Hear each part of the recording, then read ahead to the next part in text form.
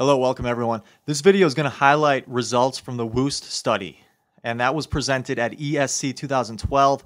WOEST is an acronym for what is the optimal antiplatelet and anticoagulant therapy in patients with oral anticoagulation and coronary stenting.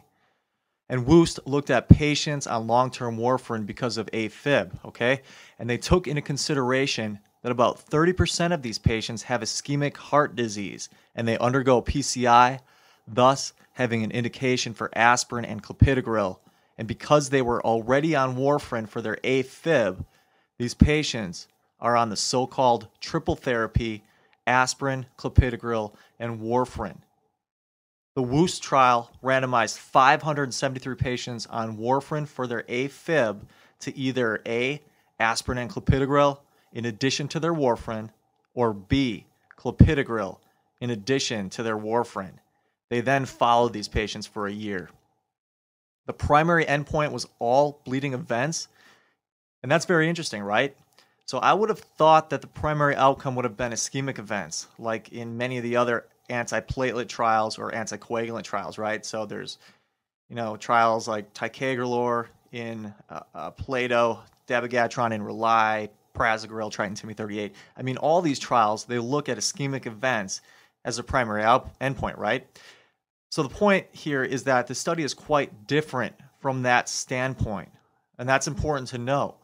And you know, they'd probably need a lot more patients to power for ischemic events, so maybe that's part of all of this. I, I don't know. I'm not sure why they designed it like this, but they did. Now, the difference here was drastic. So patients randomized to dual therapy i.e., clopidogrel and warfarin, 19.5% of them had a bleeding event. Now compare that 19.5% in dual therapy to 45% of patients in the triple therapy group that had a bleed. It's drastic. So a number needed to harm about 4 when you put patients on triple therapy. Now, it's important to know how bleeding was defined, right? So here in WOEST, they use the TIMI bleeding score and that was broken down into TIMI minimal, TIMI minor, and TIMI major. So defining TIMI bleeding is as follows. So TIMI major is defined as any intracranial bleed, so that's automatic TIMI major if you have an intracranial bleed, or a greater than or equal to 5 gram per deciliter decrease in the hemoglobin concentration. So that's TIMI major. TIMI minor, this is an observed blood loss with greater than or equal to 3 grams per deciliter of hemoglobin. That's TIMI minor. TIMI minimal is basically all all other bleeding. Okay, so minimal bleeds, I, I don't really know, but skin, IV site lines, maybe stuff like that, uh, and anything less than three grams of uh, uh, grams per deciliter of hemoglobin. So looking at just TIMI major bleeds in the dual therapy group, 3.3% of patients experienced a TIMI major bleed. And in the triple therapy group, 5.8% experienced a TIMI major bleed. So here we, we have a much smaller difference compared to the overall bleeding, right? And they don't give a p value either, I don't think. So I can't tell you if that's significant or not.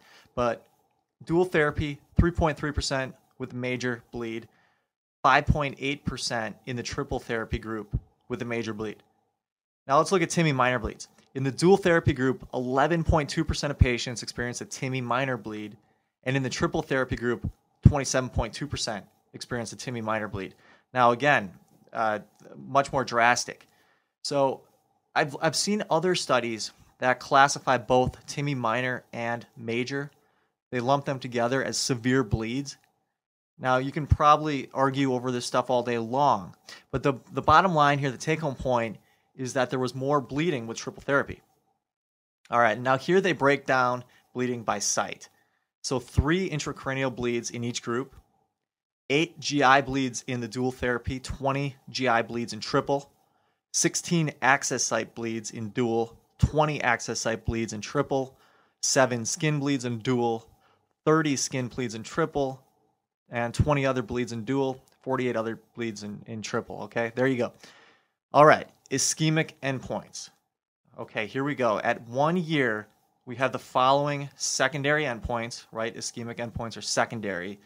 And most striking, and what most people probably don't know about this, uh, study is that the mortality rate was just 2.6% in the dual therapy group, i.e., clopidogrel and warfarin, versus 6.4% in triple therapy, i.e., aspirin, clopidogrel, and warfarin. And that did reach significance, so p value of 0.027. Okay, MI, uh, TVR, stroke, and stent thrombosis did not reach significance. And limitations were as followed. And this is just my opinion, but it was a small study, just 573 patients, not powered adequately for stent thrombosis. Uh, bleeding being the primary endpoint, uh, you know, I think this can be hard to interpret. Like, does IV line bleeding count? Um, we know that skin bleeds count, you know, but how significant are those? Uh, so difficult to interpret. And finally, there were only two arms. And one could maybe argue that more arms would have been better. For example, why not have an aspirin and warfarin group as another combo? Okay. So, in summary, WOEST study. So, first study in AFib patients to show that dual therapy with clopidogrel and warfarin is safe when compared to triple therapy, i.e., aspirin plus clopidogrel plus warfarin. Um, I must say this is the first randomized controlled trial. Okay, there's been some other registry stuff and observational stuff that's looked at this. Okay, so until now, many of these patients were more likely to get a bare metal stent than a drug eluting stent, and that was to reduce the time that they'd be on triple therapy. So that was beginning to be a trend in practice. Um, and finally, the study included 573 patients on oral anticoagulation that underwent PCI between 2008 and 2011. And for more information on this, there's a large Danish registry looking into the same topic.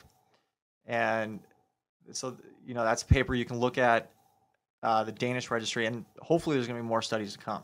All right. So, worst part of this study for me, it's the fact that the primary outcome was bleeding of all types. I mean, did we honestly even have to do a trial to figure out that bleeding was going to be higher in the triple therapy group? You know, the patients that were on more bleeding medications. I, I think that was almost obvious to many people.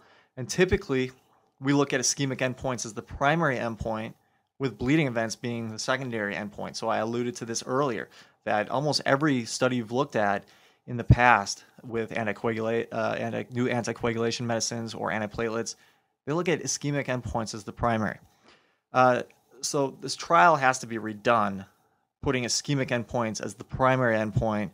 You know, then you can power the trial for stent thrombosis, MI, CV death, and things like that. Again, I think most of us could have said confidently prior to the study that bleeding was going to be higher in the triple therapy group. In contrast, I don't think any of us could have really confidently said that ischemic events would be higher in one group versus the other. But you know, I think people would probably lean more towards dual therapy. So, and that, you know, I think is probably the worst part for me. Best part, I like the fact that this study addresses a big, huge topic. So it's provocative. And not only that, but the results are striking. So the study suggests that dual therapy, i.e., clopidogrel and warfarin, may be as effective and safer than triple therapy, i.e., aspirin, clopidogrel, and warfarin. And that's in treating patients that have AFib who need warfarin and that subsequently undergo PCI sometime in their lifetime. But again, uh, the study needs to be redone, or further studies need to be done looking at uh, ischemic events as the primary endpoint. So that's it. So thanks for joining. So long, everyone. Goodbye.